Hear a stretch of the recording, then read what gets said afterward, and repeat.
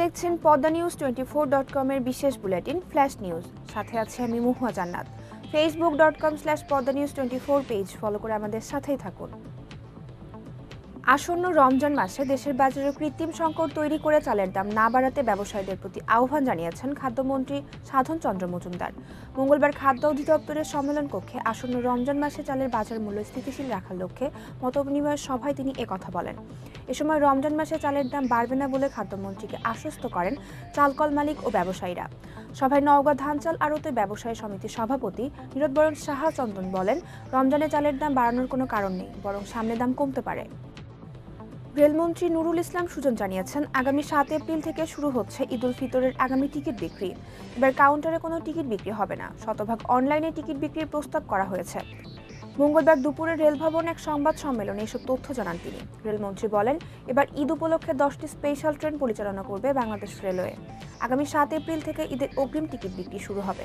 শুধু তাই নয়, এবার কাউন্টারে কোনো টিকিট বিক্রি হবে না। শতভাগ টিকিট অনলাইনে বিক্রির সিদ্ধান্ত হয়েছে। ঈদের ফিরতি টিকিট বিক্রি শুরু হবে সতেরো এপ্রিল থেকে। পবিত্র রমজান মাসের খতম তারাবি পড়ার সময় দেশের সব মসজিদে একই পদ্ধতি অনুসরণ করার আহ্বান জানিয়েছেন ইসলামিক ফাউন্ডেশন। মঙ্গলবার এক সংবাদ বিজ্ঞপ্তিতে এ আহ্বান জানিয়েছেন ইসলামিক ফাউন্ডেশন। সংবাদ বিজ্ঞপ্তিতে বলা হয়েছে, রমজান মাসে দেশের প্রায় সব মসজিদে খতম তারাবি পবিত্র কোরআনের নির্দিষ্ট পরিমাণ পাড়া করার রেওয়াজ চালু আছে। তবে কোনো কোনো মসজিদে এর ভিন্নতা দেখা যায়। এমন পরিস্থিতিতে নিরসন কল্পে পবিত্র রমজান মাসের প্রথম ছয় দিনে দেড় পাড়া করে নয় পাড়া এবং বাকি একুশ দিনে এক পাড়া করে একুশ পাড়া তিলওয়াত হবে। পবিত্র সবে কদরের কুরআন খতমের জন্য ইসলামিক ফাউন্ডেশনের পক্ষ থেকে সারা দেশের সকল মসজিদের খতিব ইমাম, মসজিদ কমিটি, মুসল্লি এবং সংশ্লিষ্ট সকলের নিকট বিনীত অনুরোধ জানানো হয়েছে। অবৈধ দখলে উচ্ছেদে অভিযান চালাতে গিয়ে স্থানীয় ব্যক্তিদের ধাওয়ার মুখে পড়েছেন ঢাকা উত্তর সিটির কর্মকর্তারা। এ সময় দৌড়ে পালাতে গিয়ে গর্তে পড়ে গিয়ে আঘাত পেয়েছেন নির্বাহী ম্যাজিস্ট্রেট আবেদ আলী। তিনি ঢাকা উত্তর সিটি কর্পোরেশনের অঞ্চল চারের আঞ্চলিক নির্বাহী কর্মকর্তা এবং সরকারের একজন উপসচিব। সোমবার রাজধানীর গাবতলিতে কল্যাণপুর জলাধারের জায়গা দখল করতে অবৈধভাবে গড়ে তোলা অর্ধ শতাধিক বস্তিঘর দখলমুক্ত করতে গিয়ে এ ঘটনা ঘটে। সংশ্লিষ্টরা জানায়, সোমবার সকাল দশটার দিকে আইন শৃঙ্খলা রক্ষাকারী বাহিনী ও নিজস্ব কর্মীদের নিয়ে উচ্ছেদ অভিযানে গেলে ওই জায়গার স্থানীয় বস্তিবাসী ইটপাটকেল নিক্ষেপ শুরু করেন এবং ধাওয়া দেন। তখনই আঞ্চলিক নির্বাহী কর্মকর্তা আবেদ আলীও দৌড়ে নিরাপদ স্থানের দিকে আসছিলেন। ওই সময় তিনি একটি গর্তে পড়ে যান এবং পায়ে আঘাত পান। মায়েদা হুসাইনি, বয়স সতেরো। আফগানিস্তানের এই তরুণীর ইচ্ছে ছিল উড়বেন আকাশে। পৌঁছে যাবেন মহাকাশের সীমাহীন বিস্তীর্ণ দুয়ারে। আর সেই স্বপ্নের কথা জানিয়েছেন মার্কিন মহাকাশ গবেষণা সংস্থা, নাসাকে। তিনি একটি চিঠিও লিখেছিলেন। তবে দু হাজার একুশ সালের আফগানিস্তান তালেবান ক্ষমতায় আসলে মায়েদার এই স্বপ্নটি খানিকটি ভাটা পড়ে। তবে তিনিও তার পরিবার হাল ছাড়েননি। তবে শেষ পর্যন্ত তা হতে দেয়নি নিয়তি। মায়াদা তুরস্ক হয়ে ইতালির খুব কাছেই পৌঁছে গিয়েছিলেন একটি নৌকায় ভেসে। তবে এরপরেই সব শেষ। ইতালি উপকূলের খুব কাছাকাছি এসেই ডুবে যায় মায়াদার বহনকারী নৌকাটি। দুইশো আরোহীর ছিয়াশি জনের মৃত্যু হয়েছে এই দুর্ঘটনায়। তার মধ্যে মায়েদাও আছেন। দুর্ঘটনায় প্রায় তিন সপ্তাহ পর পাওয়া গেছে এই আফগান কন্যার মরদেহ। যুক্তরাষ্ট্রের সিলিকন ভ্যালি সিগনেচার ও ফার্স্ট রিপাবলিক ব্যাংকের মতো আরও প্রায় দুশোটি ব্যাংক পতনের ঝুঁকি মুখোমুখি। বাইডেন প্রশাসন ব্যাংকের অস্থিতিশীল বাজার শান্ত করতে একাধিক পদক্ষেপ নিলেও দেউলিয়া হওয়ার সংখ্যা কাটিয়ে উঠতে পারেননি এসব ব্যাংক। কয়েকদিন আগে যুক্তরাষ্ট্রের সিলিকন ভ্যালি ব্যাংক দেউলিয়া হওয়ার খবর সামনে আসতেই দেশটির অন্যান্য ব্যাংকের গ্রাহকদের মনেও ভয় ঢুকে যায়। অনেক ব্যাংক আমানতের অর্থ তুলতে জড়ো হতে দেখা যায় গ্রাহকদের। এরপর সিলিকন ভ্যালি ও ফার্স্ট রিপাবলিক ব্যাংকের মতো আরও দুটি প্রতিষ্ঠান পতনের খবর রীতিমতো মাথায় আকাশ ভেঙে পড়ে মার্কিনীদের। এতে আরও আশঙ্কা বাড়ে ব্যাংক অর্থ উত্তোলনকারীদের লাইন লম্বা হওয়ার। তাছাড়া শেয়ার বাজারের ধস ও সুদের হার দ্রুত বৃদ্ধির কারণে মার্কিন ব্যাংকগুলোর অবাস্তব লোকসানের মুখোমুখি হচ্ছে। চীনের বাজারে তেল রপ্তানির ক্ষেত্রে সৌদি আরবকে টপকে গেছে রাশিয়া। চলতি বছরের প্রথম দুই মাসে তেল রপ্তানির হিসাব বরাদ দিয়ে আল জাজিরা এ খবর দিয়েছে। চলতি দু হাজার তেইশ সালের প্রথম দুই মাস, অর্থাৎ জানুয়ারি ও ফেব্রুয়ারিতে চীনের বাজারে পনেরো দশমিক ছয় আট মিলিয়ন টন তেল রপ্তানি করেছে রাশিয়া। তার মানে হলো রাশিয়া প্রতিদিন চীনের বাজারে প্রায় বিশ লাখ ব্যারেল তেল রপ্তানি করেছে।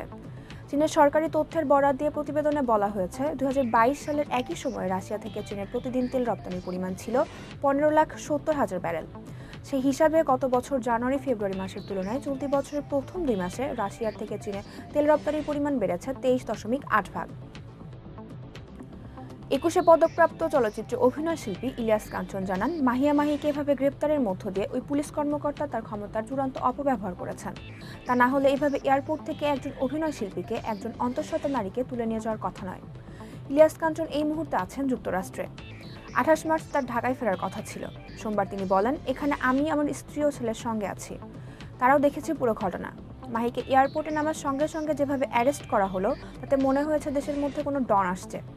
কথায় কথা ইলিয়াস কাঞ্চন আরও বলেন, আমার কথা হলো, সাইবার ক্রাইমে মামলা হয়েছে, ঠিক আছে। কিন্তু তাকে তো বাসা থেকে অ্যারেস্ট করতে পারতো। ঢাকায় চলচ্চিত্রের জনপ্রিয় চিত্রনায়িকা শবনম বুবলির একমাত্র ছেলে শেজাদ খান বীরের জন্মদিন আজ।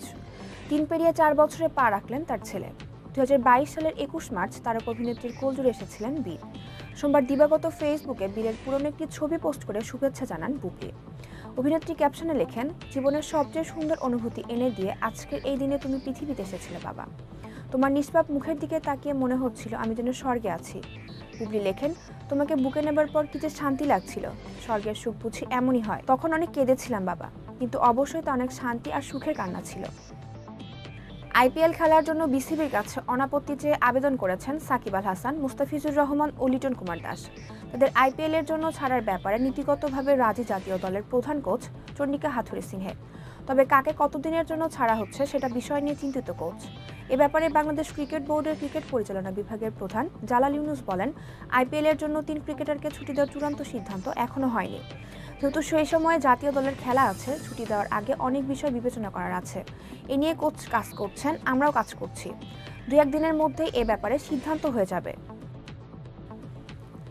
মঙ্গলবার বাংলাদেশ দলের অনুশীলন বা ম্যাচ না থাকায় দলের খেলোয়াড়রা সিলেটে বেশ ফুরফুরে মেজাজে আছেন। কেউ হোটেল রুমে বিশ্রামে, কেউ বা বাইরে ঘুরে বেড়াচ্ছেন। তবে সাকিব আল হাসানের যেন নেই কোনো বিরাম। সিলেট থেকে সকালে ছুটে এসেছেন ঢাকায়। বিমান বাংলাদেশের শুভেচ্ছা দূত হিসেবে যুক্ত হয়েছেন টাইগার ক্রিকেটের এই পোস্টার বয়। সেখানে গণমাধ্যমের মুখোমুখি হয়ে কথা বলেন সাকিব। সে সময় ছোটবেলার প্রসঙ্গ টেনে সাকিব বলেন, শৈশবে পাইলট হতে চাইতাম। ডাক্তার হতে চেয়েছি, ইঞ্জিনিয়ার হতে চেয়েছি, আলটিমেটলি ক্রিকেটে শেষ হয়েছে। এরপর তার কাছে জানতে চাওয়া হয়, এত কিছু কি করে পারেন? সাকিবের অকপর জবাব, যে পারে সে সব পারে। আর্জেন্টিনা ফুটবল দল সর্বশেষ মাঠে নেমেছিল দুই হাজার বাইশ সালের আঠারো ডিসেম্বর। কাতারের লুসাইল স্টেডিয়ামের যে ম্যাচে ফ্রান্সকে টাইব্রেকারে হারিয়ে বিশ্বকাপ জেতে মেসি বাহিনী। বিশ্বকাপ জয়ের পর আর্জেন্টাইন জার্সিতে যোগ হয়েছে আরও একটি তারকা। তিন তারকা সংবলিত জার্সি পরে অবশ্য এখনও মাঠে নামা হয়নি মেসিদের। তবে সেই অপেক্ষার অবসান হচ্ছে। শিগগিরই তিন তারকা জার্সি পরে মাঠে নামতে যাচ্ছে আর্জেন্টিনা। আগামী তেইশ মার্চ ঘরের মাটিতে পানামার মুখোমুখি হবে আলবিসেলেস্তারা এছাড়া আঠাশ মার্চ কুরসার বিপক্ষে আরও একটি ম্যাচ খেলবে তিনবারের বিশ্ব চ্যাম্পিয়নরা। ম্যাচ দুইটি খেলতে এরই মধ্যে আর্জেন্টিনা পৌঁছেছেন মেসি ডিমারিয়ারা স্কোয়াডে থাকা খেলোয়াড়দের একের পর এক যোগ দিচ্ছেন আর্জেন্টাইন শিবিরে। গুরুত্বপূর্ণ সব সংবাদ জানতে পদ্ম নিউজ টোয়েন্টি ফোর ডট কমের বিশেষ বুলেটিন ফ্ল্যাশ নিউজ দেখবেন প্রতিদিন সন্ধ্যে সাড়ে ছয়টা, রাত সাড়ে আটটা ও রাত সাড়ে দশটায়। ফ্ল্যাশ নিউজ দেখতে ফেসবুকে আমাদের ফলো করুন Facebook dot com slash Padma news twenty four. আর ইউটিউবে সাবস্ক্রাইব করুন YouTube dot com slash at the rate Padma news twenty four চ্যানেলটি নিয়মিত দেশ বিদেশের আপডেট সব সংবাদ জানতে ভিজিট করুন multimedia news portal Padma news twenty four dot com পরবর্তী ফ্ল্যাশ নিউজ দেখার আমন্ত্রণ জানিয়ে বিদায় নিচ্ছি। আমি মুহুয়া জান্নাত। ভালো থাকুন, সুস্থ থাকুন।